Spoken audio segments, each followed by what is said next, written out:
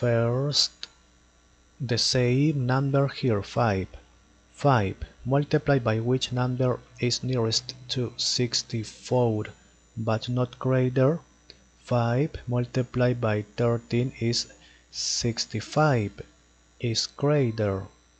Multiplied by 12 is 60 60 is not greater therefore perfect subtract. Minus 60 equal 4 here. Finish